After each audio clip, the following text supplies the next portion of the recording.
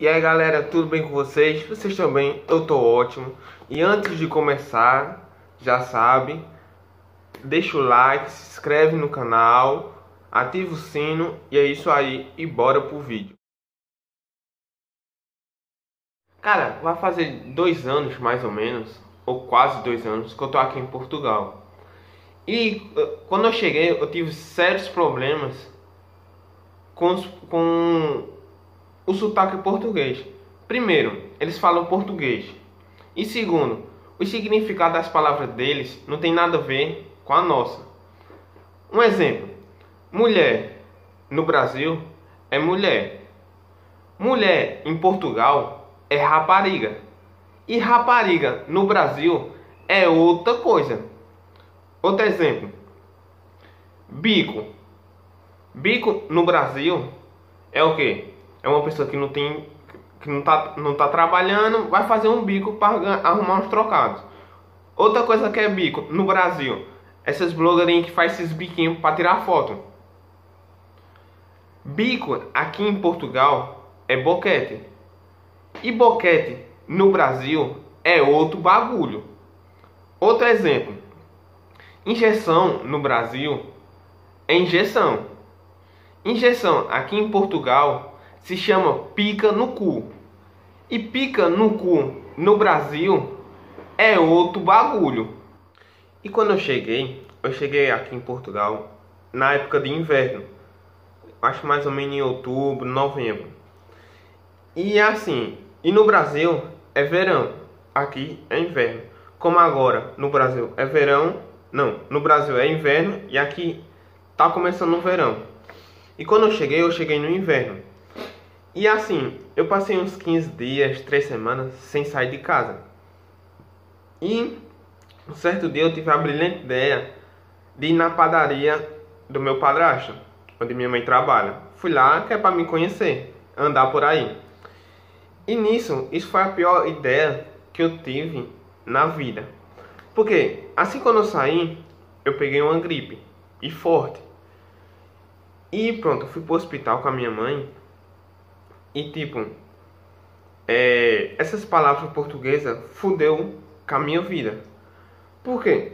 Eu chegando lá, chegando com a minha mãe, a, a enfermeira pergunta, tipo, ela fala assim pra mim, é, você que é João Gilson? Eu falei, sou eu. Eu falei, ah, essa rapariga que tá contigo é sua mãe? Aí tipo, eu fiquei meio que sem reação. Aí eu olhei pra minha mãe, eu olhei pra enfermeira, aí eu olhei pra minha mãe de novo. E tipo, tive. Perguntei à minha mãe, eu falei, mãe, a senhora é rapariga? Ela fez, não, é porque aqui se, é, se usa muito rapariga, que é moça, que é mulher. Eu digo, ah, tá bom, passou-se. Aí lá a gente fez os exames e, e assim, é, outra coisa, que tem entre os dois países é um demônio chamado Bezetacil. Como no Brasil se chama Bezetacil, aqui também se chama Bezetacil. Só que tipo, no Brasil eu já tomei acho que umas três vezes. Aqui eu só tomei uma. E assim, se chegar o dia de eu precisar tomar outra, se a doutora, se a doutora disser assim, ó, você está entre a vida e a morte. Para viver você tem que tomar um bezetacil eu digo, doutora, pode deixar eu morrer. Porque a bezetacil aqui dói, acho que três vezes mais do que a do Brasil. Beleza, eu pensando que a bezetacil aqui era igual ao do Brasil, enfim, tá bom, tomar bezetacil.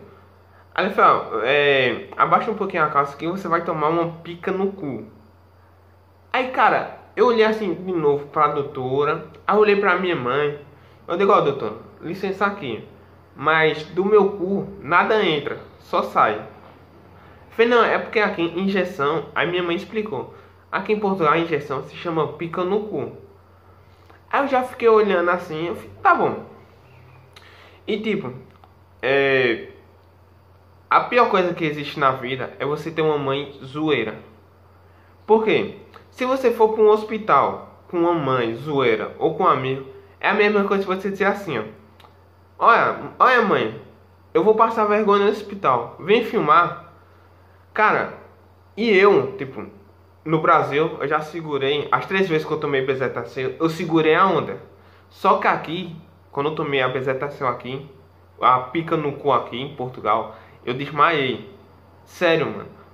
Tipo, e uma coisa que, tipo, ela aplicou, e a doutora é, explicou assim, eu falei, ó, quando for colocando a agulha, não contrai a bunda. Por quê? Que é para a agulha não quebrar dentro da sua bunda. Dentro, que aqui, quer dizer, aqui não se usa bunda, aqui se usa cu. Tudo é cu. Tudo que é relacionado à bunda é cu. E tipo, eu pensei, a última coisa que eu quero da vida é ter uma antena no cu. Porque imagina só, você sai na rua com antena no cu, você dá uma piscada de olho e, e aparece a sinal da Sky. E pronto. E tipo, e outra coisa que eu fico imaginando, eu, eu acho que eles não dão bezetacil como uma injeção normal. Acho que eles botam toda a raiva naquela agulha e botam no cu da pessoa. E é isso aí, galera. Espero que vocês tenham gostado do vídeo. Deixa o like, compartilha, se inscreve no canal se não for. E é isso aí e até a próxima.